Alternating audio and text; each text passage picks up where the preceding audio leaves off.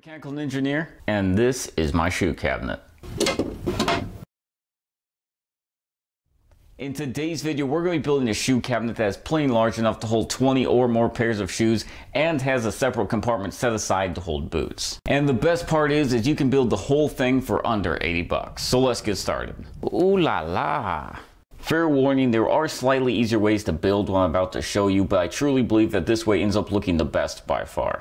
So to begin, I went down to Home Depot and picked up two 4x8 sheets of pine plywood. These boards are really nice, well put together boards and only cost about 30 bucks each. And although we do need both sheets, we are going to have a decent amount left over for future projects. So now that we have our boards, I'm going to begin by taking one of them and cutting two pieces out of it. We're going to want the first one to be 41 and a quarter inches tall, of course 4 feet wide, and the second one to be 35 and a quarter inch tall. I know these are weird measurements, but it'll all make sense in a minute, so let's cut them out. Perfect. Now we're going to want to cut these boards into as many 3 quarter inch wide strips as possible. I cut my boards in half first, but that's only because it makes them a little bit easier to handle.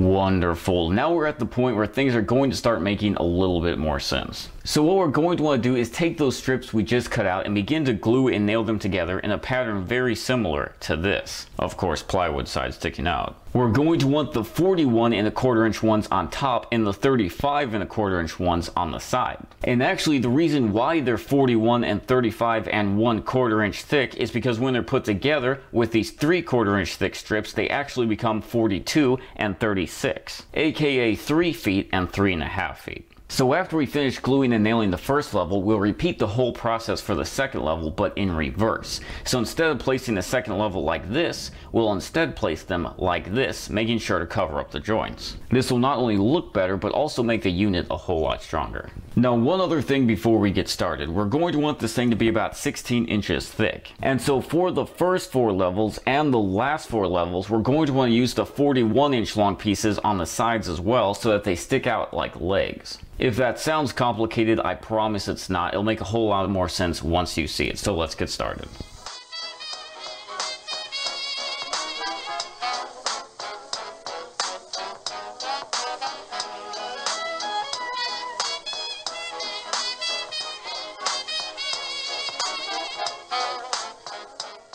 And here are the legs I was talking about. As you can see, each leg has two solid pieces that run the full length of the cabinet, and then I filled in the spaces with two more blocks. Now comes the fun part. Now it's time to start cutting channels. So now we're going to want to take our router and begin to cut channels into the side of the cabinet for the shelves to be able to slide in. We're of course going to want the channels to be about 3 quarter inches thick and about a quarter inch deep.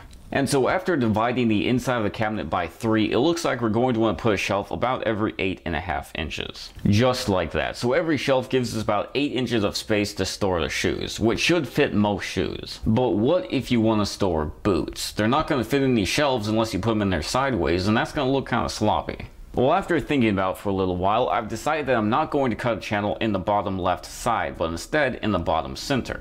That way we can build something like this. We have two full shelves on the top, two half shelves on the bottom, and then a large open space where we can put boots. The only thing we're going to have to do special is cut a channel in two of the shelves, but that's later on. I really like this design and I think it's going to work rather well, so let's get started.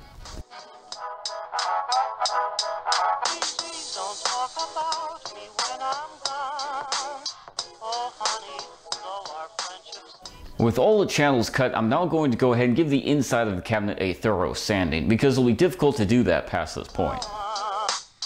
Next, I'm going to cut out four 2 inch wide plywood strips to serve as a face for the front of the cabinet. I'm of course going to glue and nail it down like we did the body, but I'm also going to dowel pin the corners to make sure it's as strong as possible.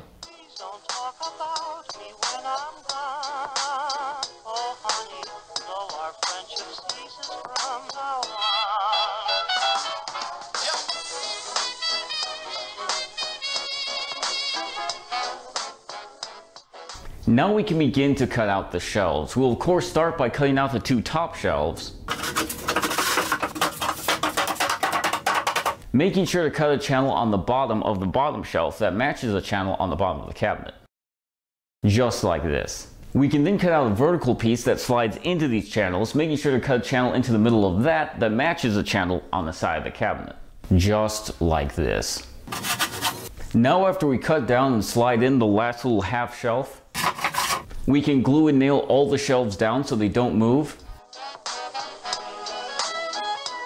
Then cut down this quarter inch thick sheet of plywood that's going to serve as the cabinet's back. And glue and nail that down as well. Congratulations, look at this thing, we're almost done. But before we move on to the next and final stage, I think it'd be a good idea to take a short break from building to sand the whole outside of this thing down really well.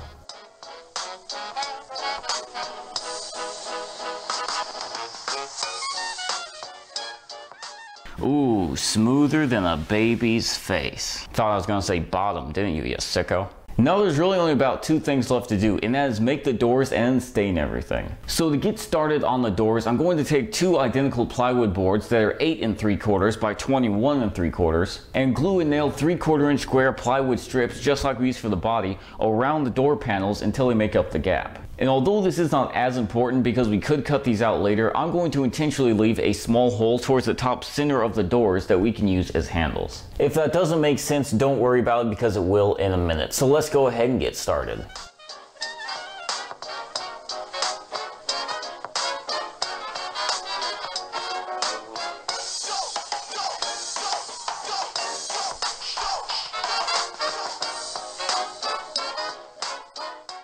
Beautiful. As you can see here are the handles slash door pulls I was talking about cutting out and I also made sure to cut a 5 degree angle at the front of both doors where they meet up just to help make sure they can properly close. And so with that everything is now built and it is staining time. For stain I'm going to be using Minwax Ebony 2718 but it is a free color so use whatever country you want to. Let's stain.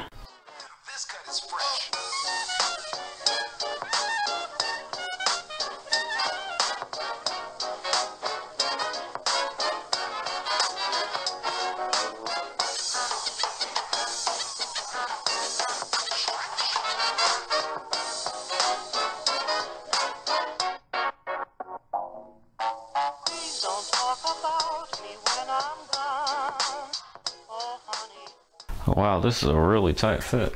Now that the stain is dry, all that's left to do is to take a few hinges and mount the doors. Bloop, bloop. Then just install a few lock-de-doos to help keep the doors closed. A lock-de-doo. And with that, the cabinet is now finally complete and ready for shoes.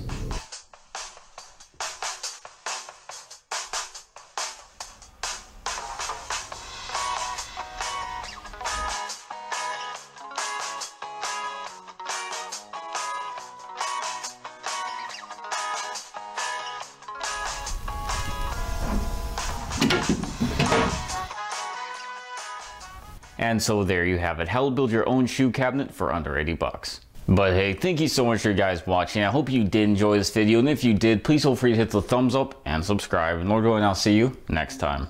Thanks for watching. And please feel free to subscribe.